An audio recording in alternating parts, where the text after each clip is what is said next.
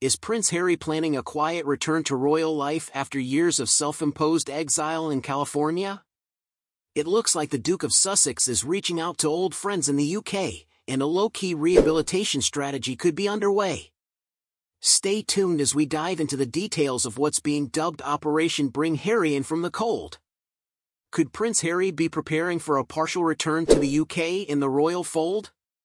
In this video, we'll explore Harry's dissatisfaction with his current situation, the advice he's seeking from trusted former aides, and whether this signals a new chapter in his relationship with the royal family.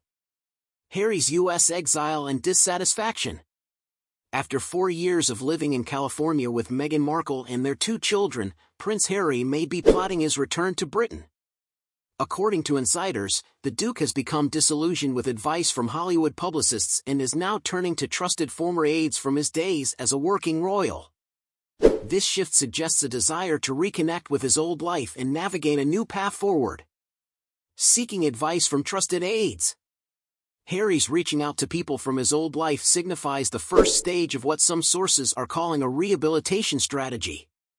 He's reportedly consulting with figures known for their loyalty and discretion, signaling a possible partial return to the UK.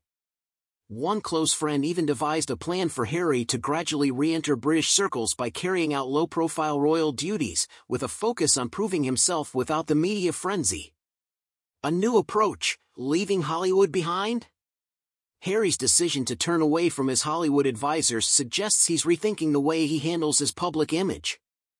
Recent changes to his PR team, including parting ways with American communication experts, highlight his pivot. This new direction may include a quiet return to performing mundane royal tasks, a move that some believe could help him win back the British public. Conciliatory messages and old friends. Prince Harry is also reportedly sending conciliatory messages to former friends in the UK via WhatsApp, with some ready to help pave the way for his return. The group has dubbed this effort Operation Bring Harry in from the cold. Friends are hoping that Harry's former private secretary, Edward Lane Fox, might take the lead on this comeback. While it's uncertain whether Harry can fully reintegrate into royal life, the support from his old network could smooth the path. Challenges ahead, rebuilding relationships. However, any potential return comes with significant challenges. Ending his feud with his brother William seems unlikely, but sources suggest the king may be open to mending their relationship. Harry has also decided not to update his controversial memoir, Spare, for its upcoming paperback release, and he won't be promoting it through interviews, a move that could be seen as an olive branch to his family. Could Prince Harry really be gearing up for a quiet return to the UK? Will Operation Bring Harry in from the cold be enough to heal his fractured ties with the royal family?